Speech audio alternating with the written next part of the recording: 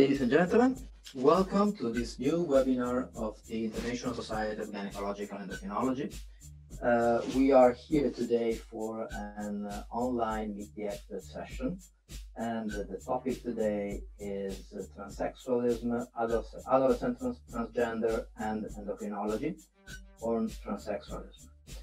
Our experts today will be Professor Charles Sultan, uh, Professor Charles Sultan is from uh, the University of uh, Montpellier, Medical School of the University of Montpellier in France. Uh, he's been president of the French Society of Pediatric and Adolescent Gynecology. Uh, he's been vice dean of the Montpellier School of Medicine and director of the International Federation of Pediatric and Adolescent Gynecology president of the World Pediatric and Adolescent Gynecology Congress, as well as director of the French National Program for Pediatric and Adolescent Gynecology. He is uh, editorial board member of the Journal of Pediatric and Adolescent Gynecology, as well as of EGO, the uh, European Gynecology and Obstetrics. Professor Chasu has also published an amazing number of articles in peer-reviewed journals. Our second expert today will be Professor Svetlana Vujovic. Professor Svetlana Vujovic, PhD, MD, internist endocrinologist, head of Department of Gynecological Endocrinology in the Clinic of Endocrinology, Diabetes and Diseases of Metabolism at the Clinical Center of Serbia, Faculty of Medicine at the University of Belgrade. She is president of the Serbian Menopause Society, founder of the Belgrade Gender Team, member of the board of the International Society of Gynecological Endocrinology, past board member of the European Menopause Society, past board member of the International Menopause Society, and she published 30 books, among them the um, Serbian Medical Encyclopedia, and she has 450 papers in peer-reviewed journals. Uh, we have our chair today is uh, Professor Andrea Genazzani, Professor of Gynecology, as well as scientific and uh, uh, medical researcher in many fields, including endocrinology, embryology, and fertility, with numerous publications and books. He is president of the International Society of Gynecological Endocrinology, ISG, former president of the International Menopause Society, editor-in-chief of uh, GREM, Gynecological and Reproductive Endocrinology and Metabolism, the new journal edited by ISG, and past editor-in-chief of Gynecological Endocrinology. So I am uh, now asking you to start uh, your videos and uh, uh, I leave to Professor Genazzani to introduce. Good morning, good afternoon to everybody. It's uh, my pleasure uh, we are uh, today in one of these uh, mm-hmm. pre-congress webinar courses, waiting for the, our congress in Firenze, in Florence, to 5 December. And this uh, has been dedicated to transsexualism. It's a very interesting, attractive area, transsexualism. And uh, we have two fantastic speakers.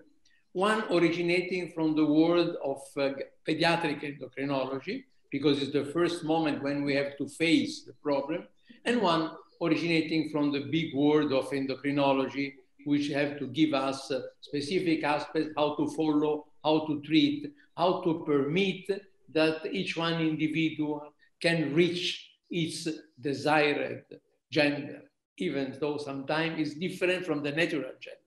And then it's my pleasure to invite uh, the first speaker. The first speaker is uh, Professor Charles Sultan. He will speak about adolescent transgender, new concern. Please, Charles, you have the microphone. Thank you. Do you hear me? Yes. Uh, can I can I start my slide, please? Yes. Perfect.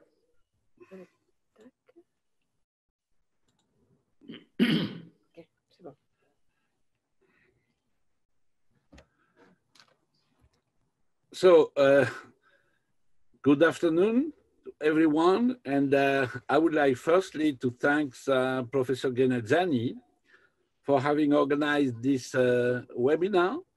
And uh, it's for me an honor to share uh, the, it with my friend and colleague, Professor uh, Vujovic.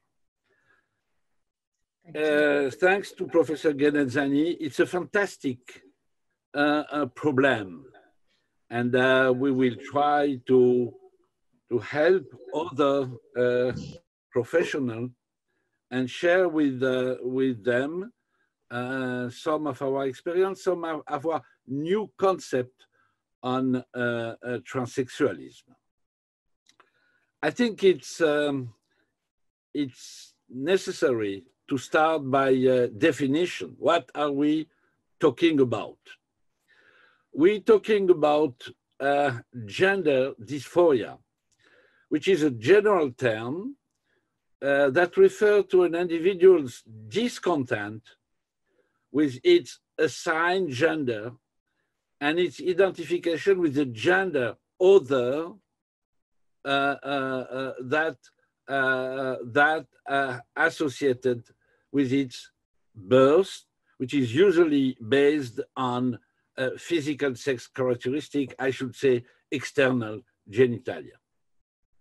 So dysphoria is a general term uh, that relate to uh, uh, the distress and uh, unease experience. And the term, uh, it's, um, it's more specifically defined when used as a diagnosis. So gender dysphoria, it's a general term. As a matter of fact, there are different expressions that uh, are related to uh, uh, uh abnormal uh, sex identity. It's transgender or trans man or trans woman, I should say, transgender or transsexualism. Transgender, and this is a, a very important to keep in mind, transgender refer to the broad spectrum of individuals who identify with a gender other than that associated with their birth sex. And uh, on, the, on the same way, uh, trans boy or trans girl or trans uh, male, male, female, or female, male transsexual or male, female transsexual, it's a person who phenotypically for one uh, uh, natal sex register or assign as one sex and who identify as the opposite sex. So as a matter of fact, transgender and transsexualism cover the same situation. But it's my opinion, it seems important to remind what we're talking about. So gender dysphoria, trans, it's a general term, transgender or trans, male, female, or female, male transsexualism correspond to the same condition. So we have also to remind very shortly, uh, or, or to, I'm sorry, to remind or to discover that these conditions are actually exploding. There is a dramatic increase of gender dysphoria and uh, uh, mainly in children as well as in adolescents, a dramatic increase. As you can see on this slide, during the last 10 years, the, the amount of, uh, of children and adolescents refer to gender uh, uh, dysphoria has been multiplied by 10 during the last 10 years. And as you can see on this slide, which take, which uh, correspond to the English experience, and Gary Butler report the English experience of uh, children and adolescents uh, with gender dysphoria, as you can see, from 2011 to 2017, the amount of uh, the number of patients referred for gender identity disorder has been multiplied by 20 from 100 to 2000. So without any discussion, there is a, a, a, an explosion, a dramatic increase of patients uh, uh, referred to as uh, uh, uh gender dysphoria. We don't have, we don't actually have the exact epidemiology, the exact uh, uh, uh, prevalence of gender dysphoria. I don't know why, but there is a wide variation in the literature about the uh, uh, uh, incidence or the prevalence.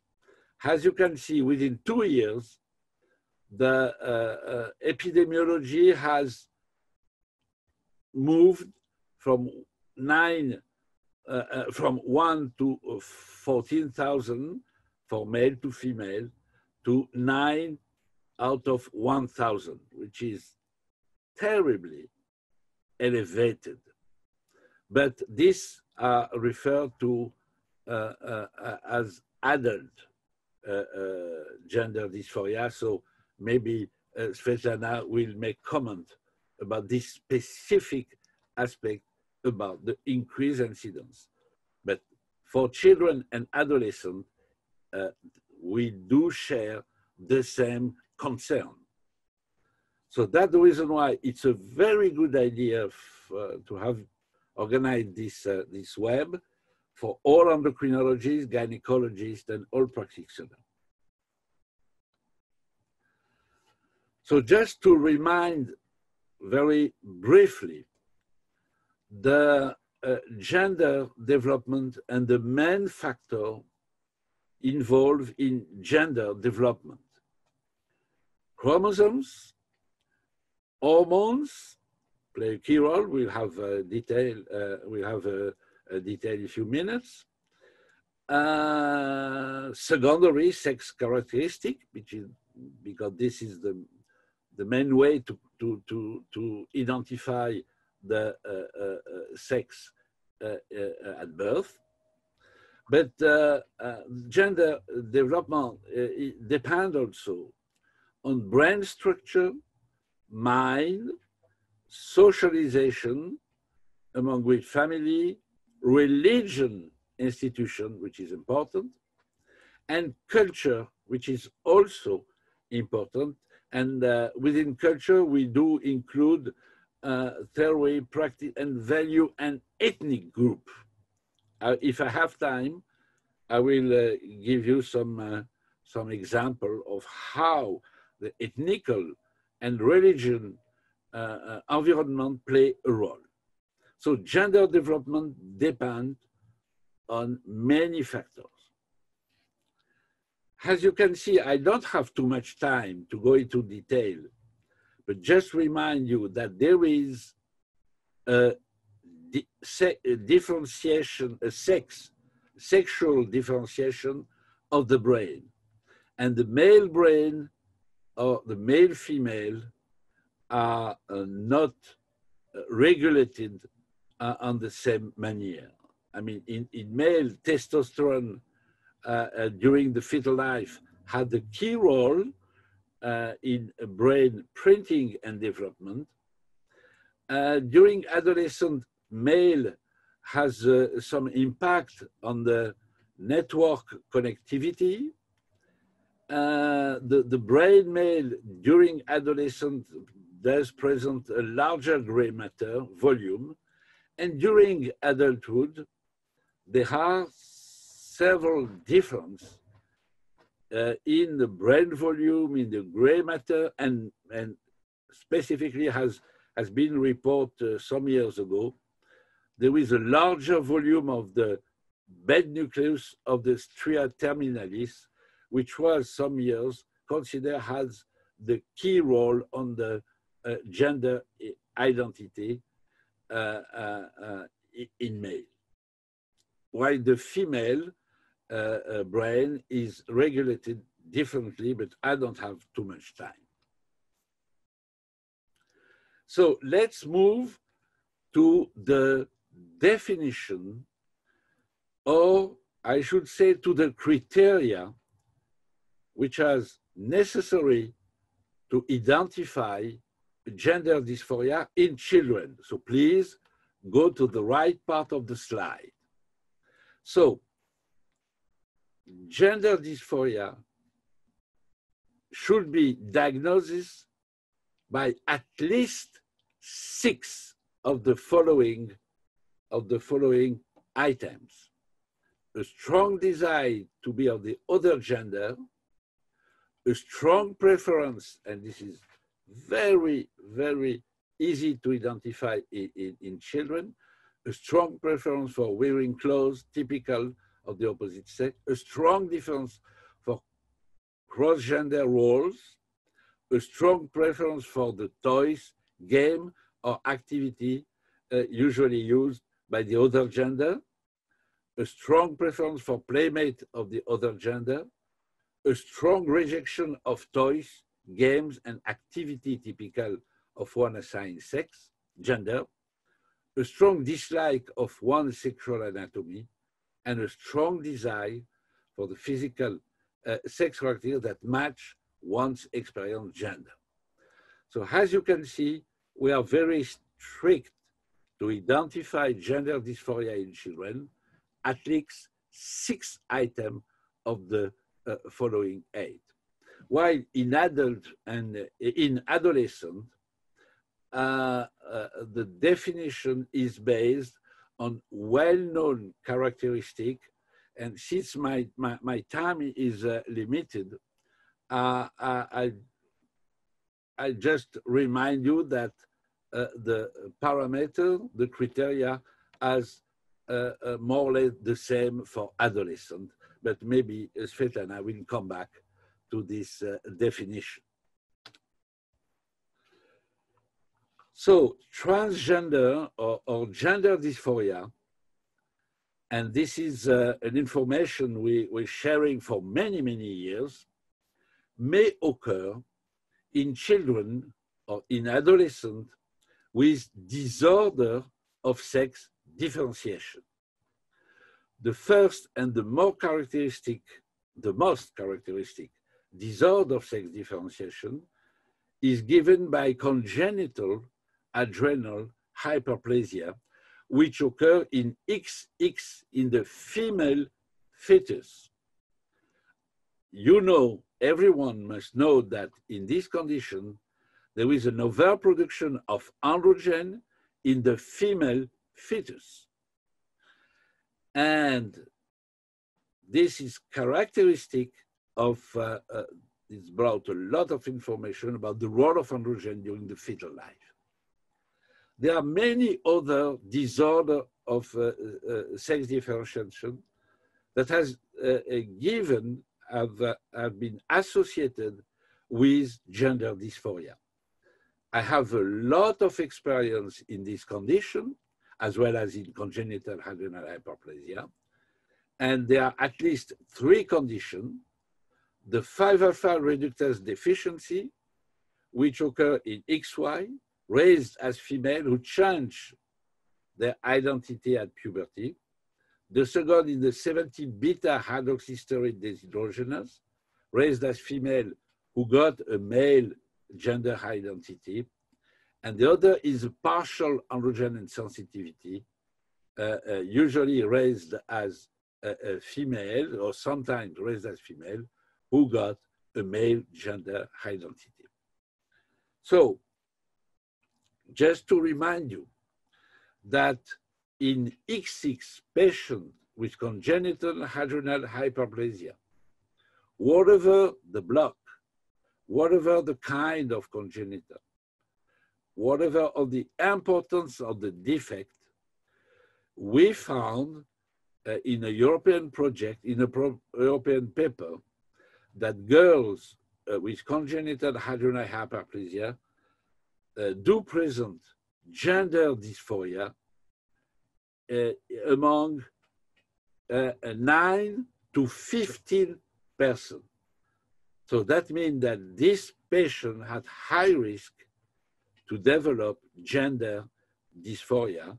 They are raised as female, but they present a, a, a female to male transsexualism.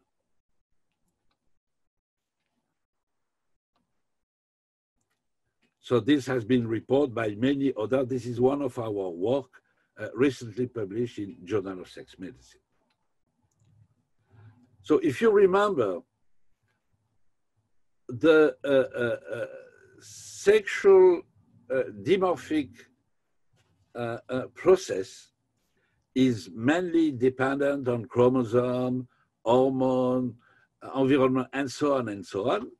But we know now that uh, during the fetal life, development exposure to endocrine disruptor may affect, may impact the uh, uh, uh gender development and the sexually neurodevelopmental process.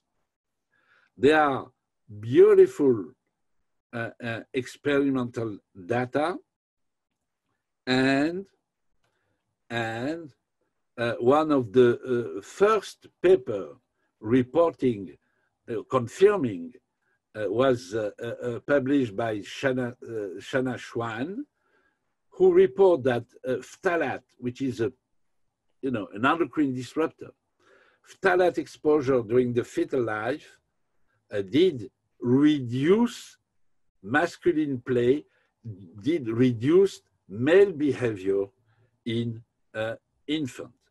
So that was the first evidence of a prenatal contamination by endocrine disruptor playing a role in sexual uh, uh, uh, identity and gender development. So that's a very new concept. Do endocrine disruptor who, which are anti-androgen, block virilization of the brain and our boys, the question is very uh, a recent question, are boys turning into girls because of man-made chemical, because of endocrine disruptor. And this can be a, a very important aspect of transsexualism. We have a good example given by uh, uh, this uh, infant and adolescent whose mother has been uh, exposed to diethylstilbestrol during their gestation. So we have been involved in a national study uh, uh, along with the French Court of, of Death Mother. We have analyzed the uh, identity of 500 DES sons and among these 500 DES sons, we have identified four out of 500 presenting a male to female transgender, which is a high incidence in this uh, newborn. I don't have uh, enough time to detail, but now they are adults but their transsexualism start in during infancy. All of them did present a strong desire to be of the female gender. They had strong preference of wearing female clothes and so on and so on. So it was an infant transsexualism uh, that continued to adolescence and that led to surgical intervention in Uh, uh, uh, three out of four of these transactions. So DES, DES, which is which raised very important concern, uh, induced 100 times higher transgender dysphoria that in control, since uh, we uh, do have, according to this slide, 100 times more gender dysphoria in DES son. And since DES it's a good example of endocrine disruptor, can you realize that more, most of our newborn are contaminated by pesticide and all endocrine disruptor. this raises a big concern for the future. So, uh, during the last part of my talk, I will, uh, uh, uh, please let me know if you want me to stop, but I need five minutes more. It's okay? You can, you can. So, what are, I would like to share the recommendation of managing transsexualism in uh, uh, infant and adolescent, and this has mainly coordinated by Peggy Cohen from Amsterdam, along with uh, uh, Meyer Wal uh, Bahlburg from the States. So in pubertal the recommendation, we do have to assess the prevalence and predictor of persistence among children with gender dysphoria. We do have to examine how to, outcomes of a gender affirming model, and we have to examine the impact and implication of social transition in childhood. In early pubertal development, which is actually the optimal timing for intervention with uh, uh, a, a GnRH analog and puberty blocker, we do have to assess the effect of puberty on mental and social health behavior, assess the impact on, on safety of pubertal blockade, but this is known by all endocrinologists, and so on. And in late pubertal, uh, I should say in uh, at least uh, uh Tanner 3, we uh, uh, should consider that it's optimal timing for intervention. And we have also to determine the impact on, on this steroid replacement in this patient who do have a GnRH analog treatment. So the committee uh, uh, from uh, uh transgender adolescent has established some criteria from puberty suppression by GnRH analog, and uh, you can read by yourself uh, what are the conditions, the criteria, and we do have to keep in mind that uh, uh, the management should start by the age of 16. So if we uh, uh, decide after all the investigation to start a GnRH treatment, we, we have also some condition, some uh, uh, criteria, and we also need the parent agreement and the adhesion, uh, the, adhesion of the parent to this treatment. Lastly, I would like, I would like to remind that this adolescent need primary care consideration. At home, uh, transgender raised conflict with family members this are at risk for homelessness, which is important. At school, they are at risk for being bullied, uh, for having, for being harassed, for receiving verbal or physical abuse by adulthood. They also are at a risk for uh, uh, substance use, such as alcohol, tobacco, drugs. Some of them may have a, a kind of sex anarchy. And don't forget, but this will be mainly true at adolescent and in young adult, these patients do present mental health disorder, such as depression, anxiety, and suicide attempt or suicide. suicide. That means that it's a very transgender in adolescent it's a very complicated situation that need a pluridisciplinary group, an expert group that include an endocrinologist, a pediatrician, uh, a, a, psychiatric, a psychologic, a, sur, a, a pediatric or adult surgery, and this cannot be managed by own without any expertise uh, uh, certitude. Mr. President, uh, dear friends, uh, maybe I've over time, but uh, I try to shorten my presentation. I would like to thank you for your attention.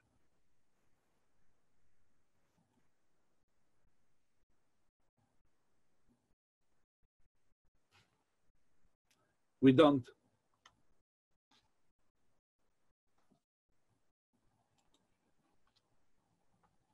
Okay, I'm sorry. I was telling that you have left the situation just in the moment that uh, to better understand now Svetlana Vujovic, we speak about endocrinology of transsexualism, also to understand exactly, not only in adolescence, but also in adulthood, what we can do.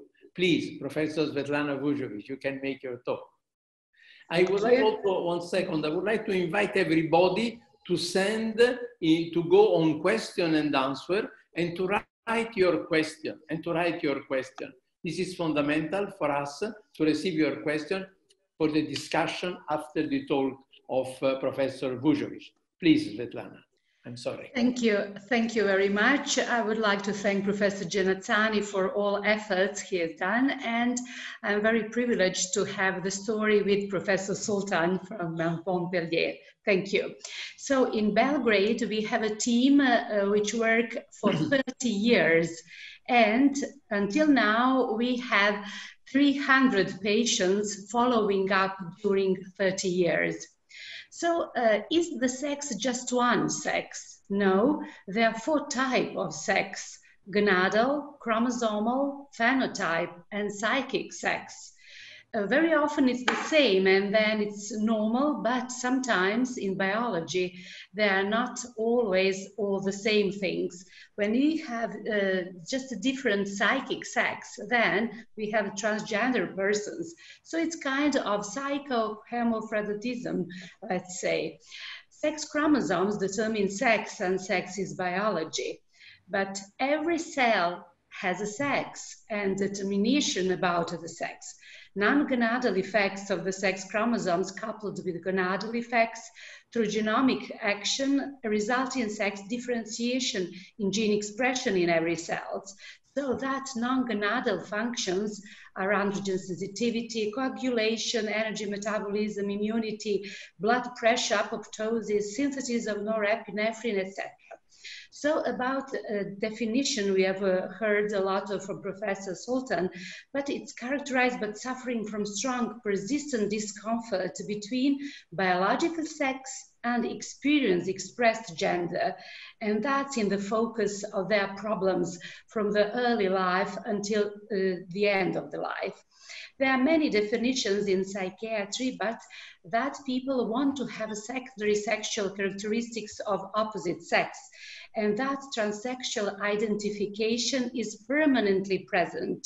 So it's not a, part of some other diseases.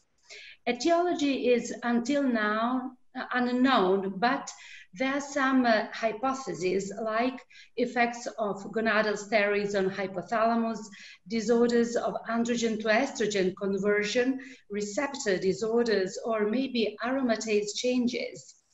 And the gender identity is developed as a result of interaction of the developing brain and gonadal steroids, and according to Swaab, some changes in volume, volume of suprachiasmatic nucleus. So many hypotheses, but until now not definitive story. As well, long uh, androgen receptor gene was one of them, but it wasn't something what was confirmed on what are differences between female to male and male to female? And there are many studies about that incidence. But in our country, among 300 people, it's uh, the same. So the same numbers of female to male and male to female. It depends of, uh, of some surgeons who know to operate very well uh, male, uh, female to male transsexuals. So what's the aim of endocrine therapy? To help patients to look like a person who or she, uh, he feels they are, uh, they have to do normal sexual function and work abilities. So therapy is individually lifelong tailoring with gonadal steroids. What uh, we do in our center uh, before the operation, we induce estradiol ampules, 10 milligrams every seven days. And after six months, we add progesterone, 100 milligrams for 10 days, and cyproterone acetate. After the operation, estradiol ampules or estradiol valerate. So always natural estradiol and micronized progesterone and CPA during three years. So then we can see breast enlargement after one month of therapy. Uh, during the third month, it's loss of erection and ejaculation. Sexual hair is thinner after six months, and significant sexual hair reduction after one year of therapy of male to female transsexuals. Why progesterone? Because it decreases the number of estrogen receptor and it shows more affinity for androgen receptors it stimulates 17 beta dehydrogenase. It has antimineral corticoid effects and sedative and anticonvulsive effects. What about spermatogenesis in them? Uh, it stops at the level of spermatogonia. Seminal tubal atrophies uh, happened and decrease of Leydig cell numbers.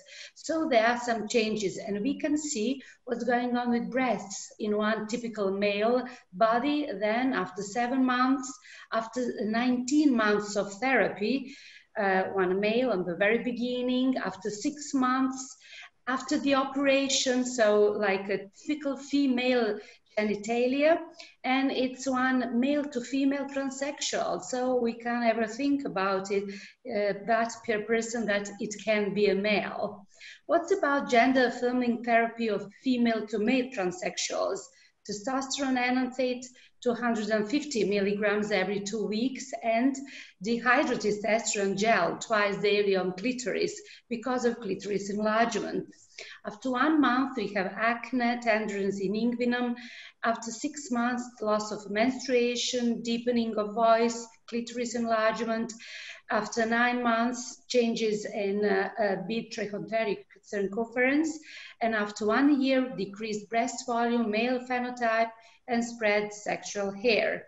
So we can see that changes after 18 months with acne and typical male uh, hair and clitoris enlargement until uh, uh about six centimeters prior to the operation. So William Harvey in 17th century told us that heart pump the blood and the blood circulate.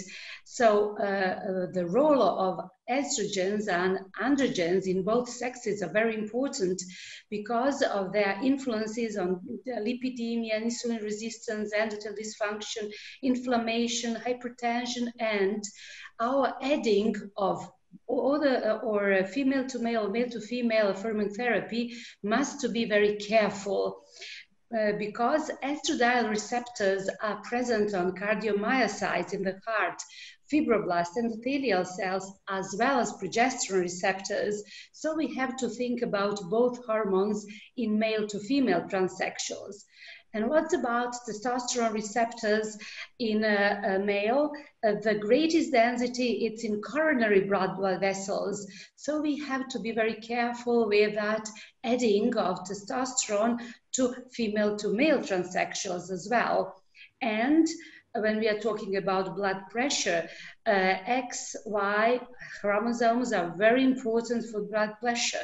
In XO Turner, we have very often hypertension. So uh, all that changes we have to think about. And of course, think about genes, sex varies, and environmental factors, as Professor Sultan have mentioned. What about uh, later on when operation was finished and uh, endocrinologists have to follow up that person's for whole life. In male to female transsexuals, we add estradiol valerate and progesterone in tablets or in gels, according to the presence of maybe some uh, presence of thrombophilia or not. And in female to male transsexual testosterone enanthate for three months, one ampule or testosterone gel. So what's the aim of endocrinologists? It's uh, to reach the happy way of life in all transgenders. Thank you very much.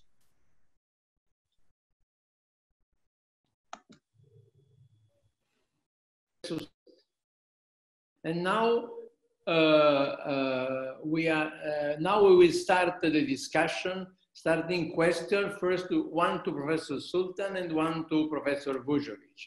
I am going on question and answer. We have an anonymous who make a question for Professor Sultan. The question is, is there any sex ratio for transsexualism in adolescents and why? So it's, it's difficult to give a definite answer because we don't follow as many patients and each group has his own data which are different. But in my small experience on transsexualism within the last 30 years, I should say that I followed much more male to female transgender than the opposite. And uh, I, I, I, don't have an explanation, and it's not a, a, definite answer, but this is my experience, my very small experience on adolescent transsexualism. I should say, Okay, okay, that's no, please, please, please, no, no, go on. I'm sorry. So, I follow several adolescent girls with uh, uh, XX congenital adrenal hyperplasia with uh, uh, uh XX, so with male gender uh, identity at, uh, at puberty or later, but I had to manage many more XY with uh, transgender female transsexualism. Thank you. Professor yes, do you want to add something to Professor yes. Sultan, please, please? Yes, maybe. According to our experience, it is uh, more difficult to make operation in female to male transsexuals. So virtue of surgeon is very important in our country, we have a great surgeons, uh, uh, internationally well recognized, and he was someone who discovered a way of operation. So many patients from all around the world came to Belgrade because of female to male surgery. And that's one of the possible explanations. So we have the same ratio. Thank you. I, I would like now to have a, a question now for you. Uh, use, and my first question is from an anonymous uh, uh, participant. He asked if there are any limitation for hormone affirming therapy. Uh, according to the latest study and our experience, there are no age limitations. It depends on uh, the individual necessities to add hormones and the aim of all our work is to have a, a happy and healthy person. So uh, from time to time, one year, once yearly, we tested them, all of them, and then uh, we add as much hormones as they need. So we have the oldest transgender person who is 75 and uh, that person is uh, now female and she is receiving estradiol gel and progestogel. So uh, there are no age limitations, just individual necessities. Hmm. Okay, thank you very much. Is we have another question here from an anonymous for Professor Sultan. And uh, can you comment on the significant rise in the number of transgender among young people? Uh, this is not a, an easy point. It's a difficult question. I should say that, first of all, 20 to 30 years ago, in the media, among peers, about sexual identity was not discussed, was not discussed, was not evoked uh, uh, between adolescents. Now, if you just remind that uh, uh, sexuality among adolescents has become, uh, I mean, um, a kind of very common discussion, not only in the high school, but in the, in the TV, in the radio, everyone talk about his, his or her sexuality. It's become more common to talk about this, uh, uh, I should say, gender dysphoria. This, I think it's, it's supported by the media, mm-hmm. by the fact that people are, I, I, mean, parents have become more flexible and uh, maybe because there is a tendency to homogenize the male and the female sex. Can you realize that in newborn, just an example, in newborn with a disorder of sex differentiation, I manage 100 on newborn in this condition, I am not allowed to determine, along with the surgeon, with the, uh, the pediatric, the sex of rearing. It's forbidden. I can, I can be brought to jail by uh, the patient uh, later on. So uh, it, it's a kind of uniformity of the sex difference. And in some country, they will be uh, uh, allowed to put on the card sex male, female, and to put other. So that opened a new concept of our society. I'm talking about European society. Eh? Maybe in, uh, in uh, some Arabic countries different.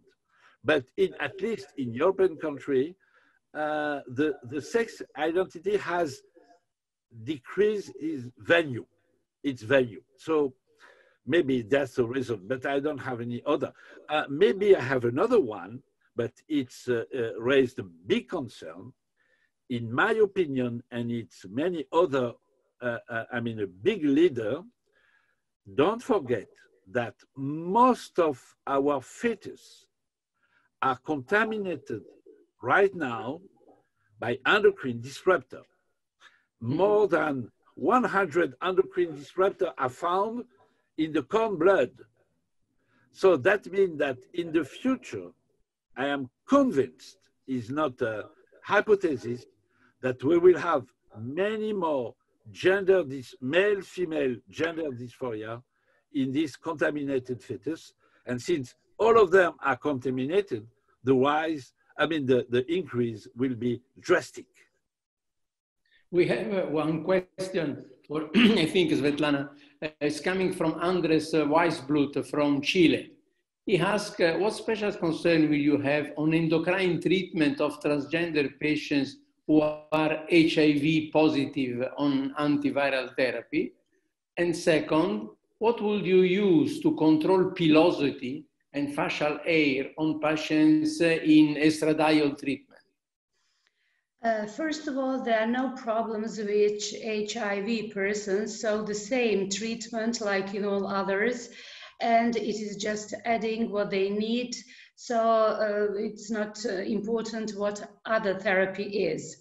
When we are talking about the facial hair, uh, then uh, uh, then we have cyproterone acetate 50 milligrams uh, during uh, four years of the beginning of therapy, plus enough amount of estradiol, which is higher than normal for just substitution. And then uh, hair is, they are losing their hair everywhere. Just maybe to add something to Professor Sultan, I really think that media encourage this uh, talk about uh, transsexualism. And in some Arabic country, it is prohibited. So they're coming to Serbia for making operations and we have a team uh, where psychiatrists is very important they're very important because they make diagnoses. that's not just like go to singapore and make an operation for money without any psychiatric uh, looking on. So uh, there are differences in the world for that people and uh, we have to know that. Yes i will i will now take the opportunity to answer to mariela deicas she asked what local treatment can be used to improve the quality of the neovagina tissue in patients undergoing male to female when it does not respond to estriol and the systemic treatment with estradiol and progesterone. You know, uh, Mariela, the estriol is a very efficient molecule, but uh, its effect on the neovagina tissue is limited. You have to go back to estradiol. You have to give her local estradiol administration, not so much estriol. And this is independent from the total amount that you are giving for uh, the general treatment. You have to add local estradiol. And then now I would like to, to make another question that we have received here, also from an anonymous, to Professor Sultan, which is uh, why should we identify adolescents with transsexualism? Why? Why? Uh, because yes, a very important, uh, very important question. First of all, as I, I mentioned before, transsexualism in adolescence is accompanied by many, many side effects or many consequences. First, social consequence, psychological consequence. We do have some adolescents who did suicide. So they need some psychological and psychiatric support. Three, uh, uh, some of them left their home and became homelessness.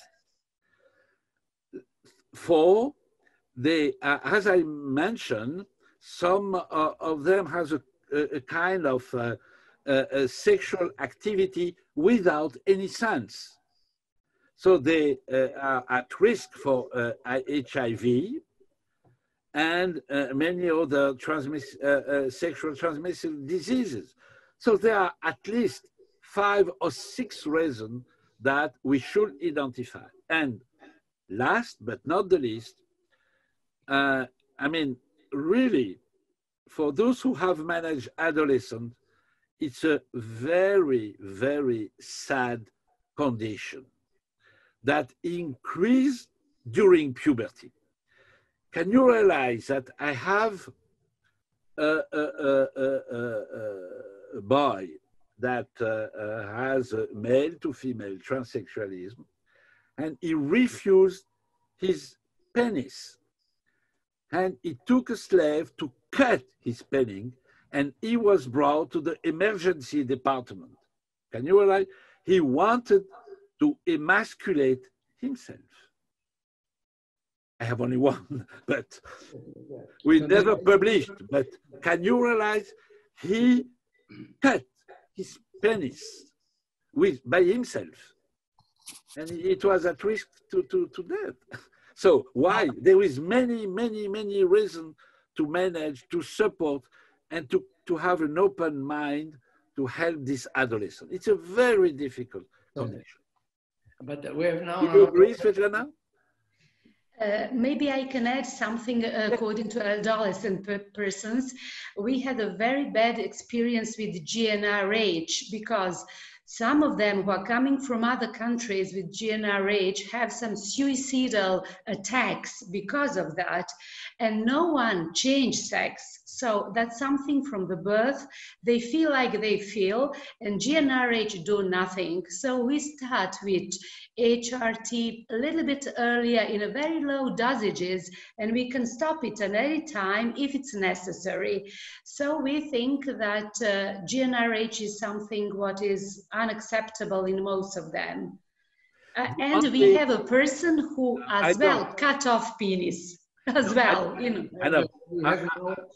I, I, disagree. Oh. We have now another question for uh, for uh, Svetlana. Uh, concerning the dosage, are the dosage used for hormone therapy, hormone menopause therapy, the same with dosage of hormone affirming therapy? Now we have to add three times more dosages than for a menopausal treatment. Let's say if we are talking about estradiol valerate, then in the menopause, it's enough to give them two milligrams of estradiol valerate plus progesterone. But in, uh, in the very beginning of the therapy for uh, male to female transsexuals, it is three times more. It's three times a, a day. So enough, it's, it will be enough six milligrams or better in an intramuscular way, 10 milligrams of estradiol valerate weekly. Yes, and also still concerning treatment, we have received a question from Dr. Elena Zago. Does the use of GnRH to retard puberty make hormonal and surgical therapy more efficient? No, No, I don't. no, no, no. And then we have another question. Uh, no, why? Because if we give enough estradiol, then we don't need GnRH. That's, Okay. that's the most important. It suppresses testosterone.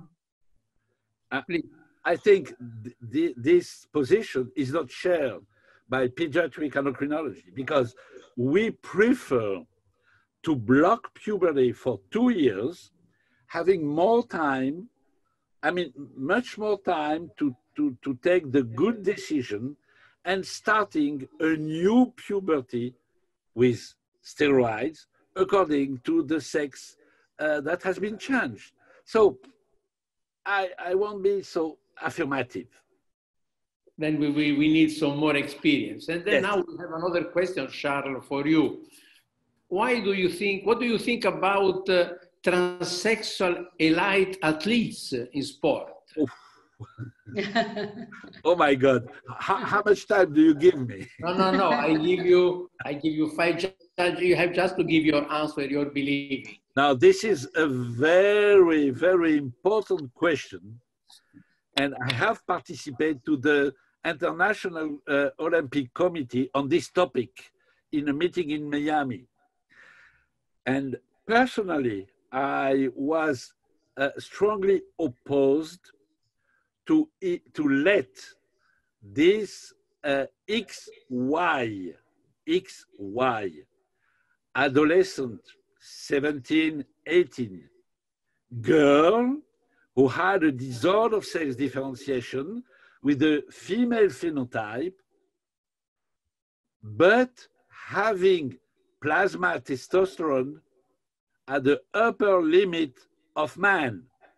So that means that the, with the plasma T at 10 nanogram per ml, your brain, your muscle, your blood, as you mentioned, I mean, all the male consequence of androgen, even if you have a female phenotype and a female body line, because they don't have breasts. Anyway, uh, I don't, I won't suggest to let this transsexual uh, running with the female. It's not ethical to let them, although I know that they, they have a, a very strong lobby in the ICO that permit them to, to compete. I'm talking about the gold medal of the Olympic Games. I'm not talking about, uh, uh, so this is a very important aspect of transsexualism, but in my opinion, I won't let the transsexual playing uh, or, or running or, or, or competing uh, as an elite woman. This is my opinion. Thank you. Now, and now another question related always to the hormone, uh, hormone affirmative therapy and also hormone replacement therapy is for, for, uh, for you, Svetlana. The question is, does estrogen, therapy in female transsexual trigger breast cancer? No, uh, the latest study have shown us that the main triggering factor for breast cancer are high levels of insulin in some patients who have some mutations, genetic mutations for breast cancer. So if we add estradiol in enough levels, there are no more, more breast cancers. In our group, we have just one person, but at the very beginning of therapy, meaning that that breast cancer started five years before. Yes. And then another question. It was interesting your part of your talk, Charles, concerning endocrine disruptor. And we have received an anonymous uh, question. Could fetal endocrine disruptor contamination make more uh, children transsexual? Yes, definitely. Definitely, yes. I am convinced that beside the media, beside the changement of our society, beside the role of, uh, of peers uh, and uh, on some lobby, I'm talking about the LGBT lobby and so on and so on, I'm convinced that the increase in prevalence of male, female transsexual is related to a devirilization during the fetal life. I'm convinced that we will have more and more male to female transsexual. It's not my own opinion. This question, Professor Genazzani, was raised 10 years ago by Professor Gooren in a Genazzani World Congress meeting. He raised the question. endocrinology meeting, always. Yes. And, and he raised the question in a meeting on endocrine disruption. He said, don't you think that they could have some impact on the brain, I don't, I mean, on the identity? Professor Louis Gooren, which is an expert, if you remember, an expert of trust. It was a very pertinent point, and 10 years ago, I am convinced that it's a factor that contribute to the increment of male to female transsexualism. And then now we have, uh, probably it will be the last question because we are approaching to the time for Svetlana. As you know, we have uh, plenty of attention of the difference in body weight in men and women, what happened crossing the menopause, what happened also crossing uh, the male under regeneration therapy for prostate cancer and so on. Then the question is, are there any changes in weight during life in transgender people? When we compare them to the uh, other uh, menopausal women or men with uh, uh hypoandrogenism, then uh, the most important there is once again hyperinsulinism because people gain weight during aging. But uh, when we add enough amount of hormones, I mean gonadal steroids, and if we uh, decrease insulin levels whenever they're increased, then there'll be no gain in weight. Thank you very much. And then now we are at the end. I would like uh, from each one of you, we will start uh, first with Svetlana, ladies first, and then with Char, a final comment for our public concerning the problem of transsexualism today and how we gynecologists, pediatricians, endocrinologists have to take an open mind for that problem. Svetlana, your two words. Uh, thank you. Uh, we have to understand that uh, uh, there is not always so simple to be male or female. There are many, many changes between the typical characteristics and uh, philosophies of life is going to some maybe disappearing of that typical changes. So in the future, we have to uh, help them to have a, a, nice life, happy life, and uh, medicine uh, has the aim to help them. Thank you. Nothing else. The comment of Shah. I think uh, children or adolescent transsexualism is a very serious situation, we, we must have a very open mind and we must avoid to, to, to claim that this situation will disappear at puberty. This is the old vision, old vision of transsexualism. Although the, we, we may have some transient transsexualism, we know that at puberty, 30% of adolescents do have some transient uh, disorder of uh, sex identity. That's true, but it's not transsexualism. So we have to keep in mind that this is a very difficult condition to take into, we have to take it into consideration and not to banalize this situation because it will induce dramatic consequence for the adolescent and I'm convinced for the future adult. Thank you. Thank you, Svetlana. Thank you, Shara. I would you. like to tell you that you have a series of very nice and positive comments from Manu Navani and from Pauline Maki, from Yumi Ikeda, from Galina Lesko, and many other who make the compliments for the quality of the, of the uh, webinar of today.